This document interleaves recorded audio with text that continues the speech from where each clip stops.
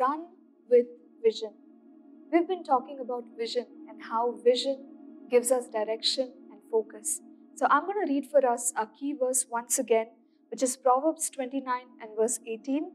It says, Where there is no vision, the people are unrestrained, but happy is he who keeps the law. So when there is a vision, there is a focus. But what is also important is that we've got to work towards the focus, run with the vision.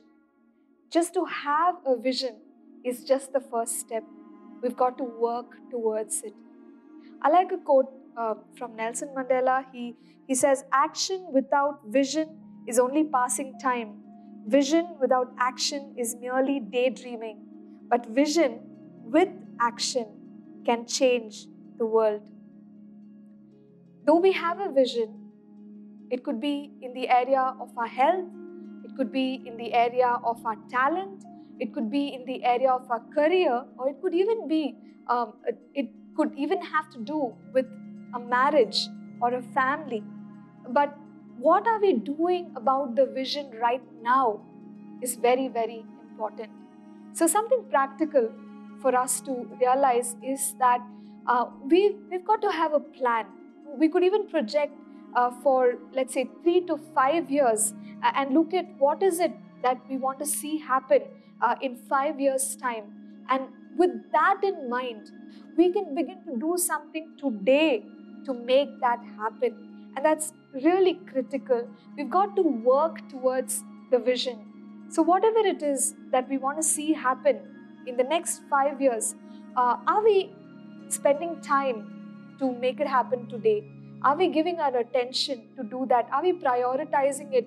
Are we removing every other distraction to accommodate certain things in our lives so that we're able to uh, accomplish something in, in the next five years?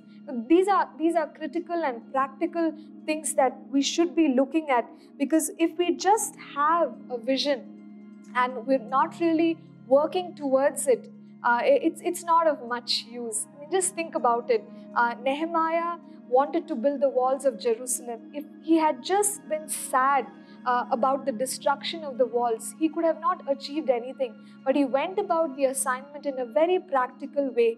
He, he applied it, he um, surveyed the land, he connected with the right people, he, he managed the situation when there was opposition, uh, and then he had a definite plan of implementation. He put people on uh, work, and, and you find that just in 52 days, 52 days of hard work uh, helped them to construct that wall. So, what began with just a stirring in Nehemiah's heart was a finished job uh, at the end of 52 days of construction.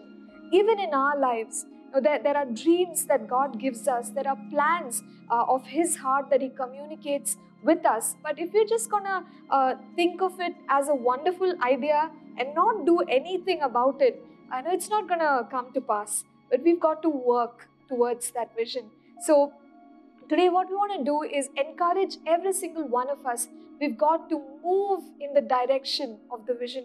Do something about your plan today.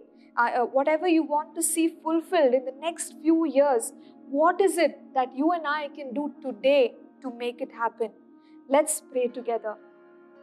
Heavenly Father, we thank you that, Lord, you are our helper, God. Lord, your word, you said, oh God, that I will never leave you, I will never forsake you. Lord, those who have dreams uh, but are going through, Lord, difficult situations, oh God, Father, I, I ask for, uh, Lord, miraculous intervention, God, that things will be set right in amazing ways in their lives. Thank you, God. Thank you that you're a God who cares for us. And God, that you will do these things, Father God, and you will enable us to fulfill the vision of God for our lives. So, Father, we praise you. And Lord, we ask that uh, the vision of God will only glorify you. In Jesus' name we pray. Amen. Thank you for tuning in to Living Supernaturally. For more resources to strengthen your spiritual walk, please visit apcwo.org.